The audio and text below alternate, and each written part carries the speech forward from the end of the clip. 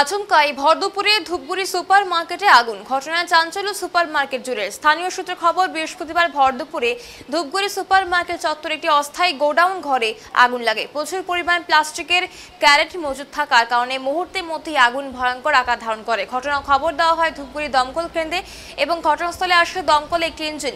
কিন্তু মার্কেটের একপাশের গেট বন্ধ থাকার কারণে ঘটনাস্থলে পৌঁছতে কিছুটা সময় লাগে এই দমকলে। পরবর্তীতে স্থানীয়রা গেটের তালা ভেঙে গেট খুলে দিলে ঘটনাস্থলে পৌঁছায় দমকল কর্মীরা। কিছু সময়ের মধ্যেই আগুন নিয়ন্ত্রণে নিয়ে আসে দমকল কর্মীরা।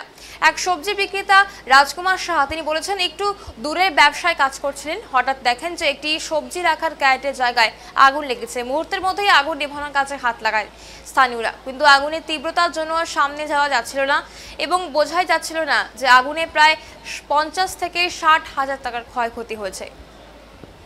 এদিকে ঘটনার খবর পেয়ে ঘটনাস্থলে আসে ধূপগুড়ি থানার পুলিশ। কীভাবে আগুন লাগল তা খতিয়ে দেখছে police. Sandeep auto lines Hero ধামাকা অফার হিরো স্কুটার ও প্রিমিয়াম বাইকের উপর রয়েছে এক্সচেঞ্জ অথবা রয়্যালটির উপর তিন হাজার টাকার ছাড়। গ্ল্যামার হ্যালোজেনের উপর পান দু হাজার টাকা ছাড়। তাছাড়া রয়েছে ফিনান্সের লো ডাউন পেমেন্টের সুবিধা। অফার সীমিত সময়ের জন্য। শর্তাবলী প্রযোজ্য।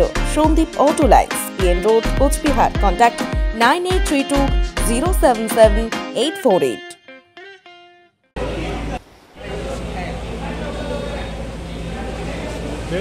দিয়ে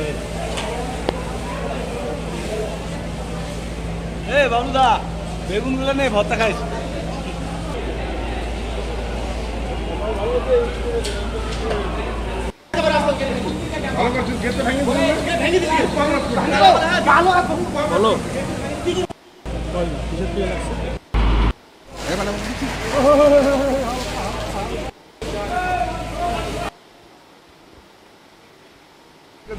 ধোঁয়া বেরোচ্ছে এসে দেখলাম যে এখানে থাকা কিছু খালি ক্যারেট ছিল এই ক্যারেটগুলোর মধ্যে আগুন ধরা ধরে গেছে তো আমরা তো চেষ্টা করতে করেও পারলাম না এত হিট ছিল ভিতরে আসার কোনো রাস্তা ছিল না তারপরে ফায়ার ফোন করা হলো ফায়ার ব্রিগেডও এসছে এইদিকে গেট দিয়ে ঢুকতে এইদিকে গেটটা ছিল বন্ধ। ওখানে আসতে তো রেড হয়ে গেছে ততক্ষণে সব কোন জায়গায় ঘটনাটি কোথায়? ধূপগুড়ি সুপার মার্কেটে মানে কি কি ছিল এখানে? এখানে ফাঁকা ক্যারেট ছিল? খালি ক্যারেট ছিল আর মোটামুটি তাও পঞ্চাশ হাজার টাকার উপরে ক্যারেট ছিল। হ্যাঁ বড় সড়ো দুর্ঘ- দুর্ঘটনা হয়তো একটু দে- দেরিতে আসলে হয়তো বা টিন টিন ধরেও পাশে যে আরও দোকানগুলো আছে সেগুলোতে আগুন ধরলে হয়তো বা বড় সড়ো দুর্ঘটনার সম্ভাবনা ছিল। কি অনুমান করছেন? কি থেকে লাগতে পারে? এখন অনুমানটা কি করে বলি আমি ছিলাম না এখানে কি করে বলি?